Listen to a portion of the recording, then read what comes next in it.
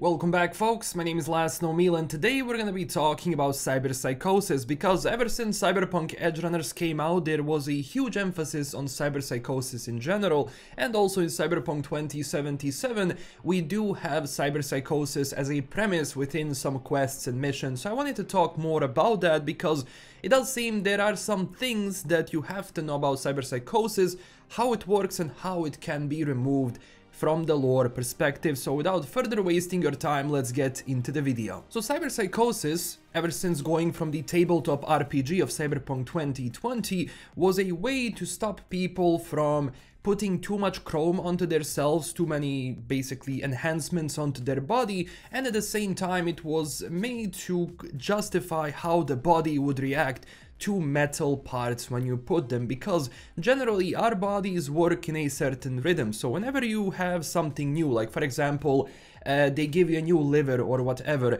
there is a chance that your body is not going to accept it. And once that happens, you have to remove it or your entire system or well, your entire body is going to be compromised. So then we arrive to cyberpunk as a subgenre where you have people changing their body parts, enhancing themselves on a daily basis.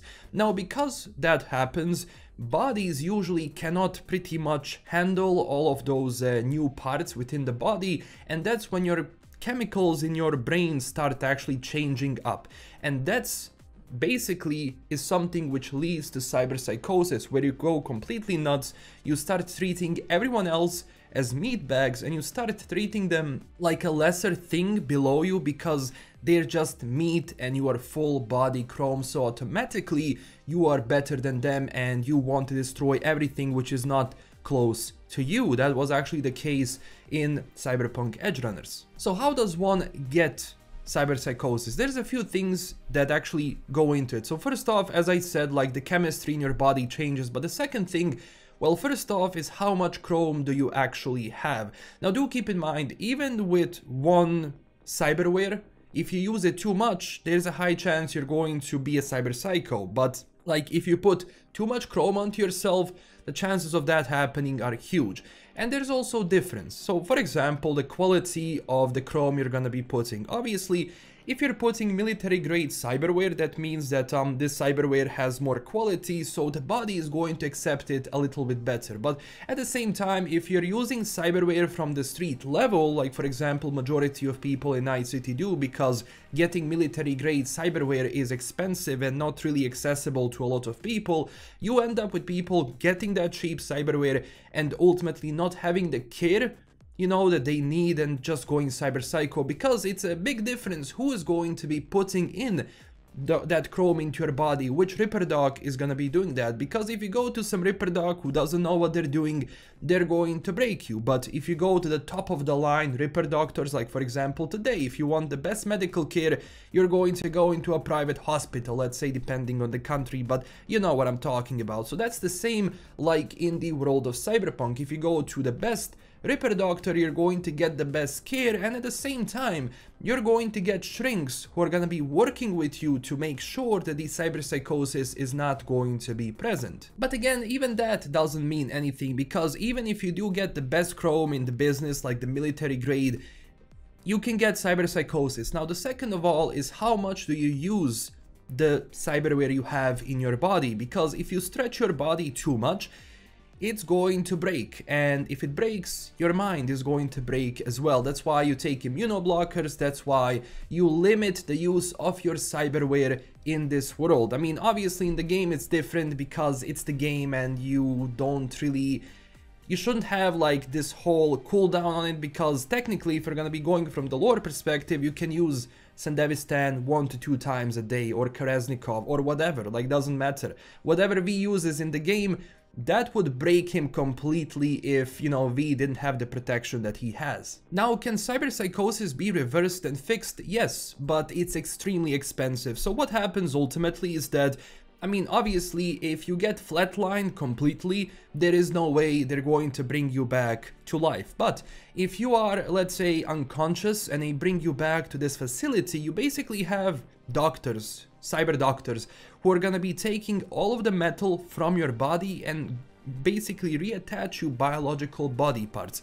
Not yours, but they will give you meat back. This will help your body to relax and basically your mind to reset. So what they ultimately do is they do a full reset of your system, of your brain and everything. So once you basically wake up, they work with you so that this uh, cyberpsychosis can be reversed. But again, as I said, it's not going to be doable in all cases. It's impossible. And there's a few examples of cyber psychosis. For example, so a person can be a, a cyber psycho but not go full cyber psycho. So persons who have that, who have like the minor or medium cyber psychosis, they're gonna be people who you can talk with. But from time to time they're going to go crazy, they're going to attack someone. And th those signs can be a sign of like let's say schizophrenia you have today in people, so kinda similar to that.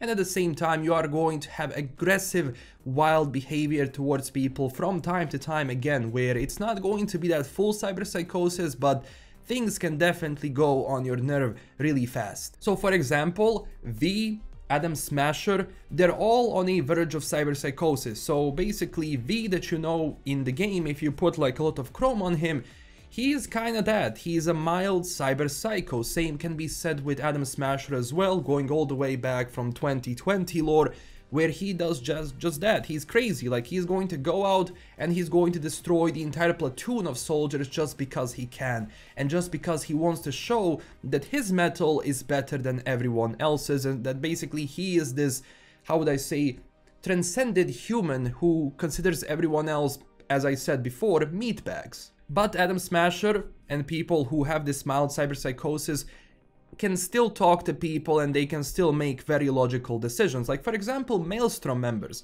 Maelstrom booster gangs in Cyberpunk, all of them are either cyber psychos or on a verge of cyber psychosis. That's why the Maelstrom works and behaves in the way they do because they consider that metal is something everyone should do because you're going to transcend your normal human capabilities. So at that time, obviously because they don't have the care they should and most of the chrome they do is just going to be on the street level because they're not rich, you're going to get the Maelstrom members who are going to be completely cyber psychos or they're just going to be insane. And cyber psychosis is such a big thing in the tabletop RPG because when that happens in the tabletop session, you basically lose your character. You give your character to the GM and that's it. So you always have to be careful that the humanity index, which was an index uh, in the tabletop RPG, remains at a certain level because if your humanity index goes down, that's pretty much going to be the end. And actually a fun thing in like the first teaser trailer for Cyberpunk 2077, you can actually see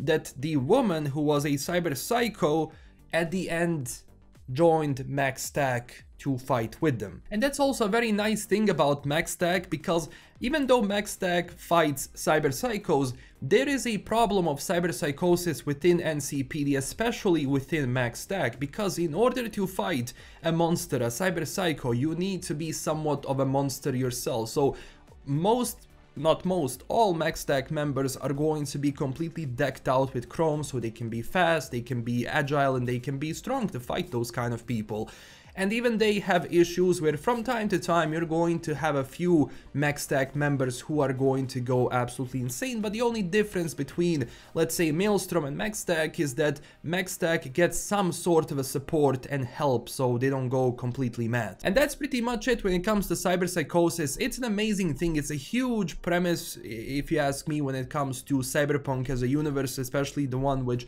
Mike Pondsmith wrote, and it's a, such a nice thing to kind of limit the use of cyberware, so it's not just, okay, I'm using cyberware and I have no penalty for it. So on that side, it's nice. And that's it for today. As I said, thank you so much for watching. If you enjoyed this video, don't forget to smash that like and subscribe for more cyberpunk and cyberpunk lore videos. I do have a lore playlist so you can check out. I covered the lore extensively prior to the game coming out and when initially Cyberpunk 2077 came out. Also, huge thanks to my current Patreon supporters, and if you want to support the channel in an extra way, I do have a Patreon page. And this is it. This is LKM signing out. Stay classy, everyone, and bye-bye.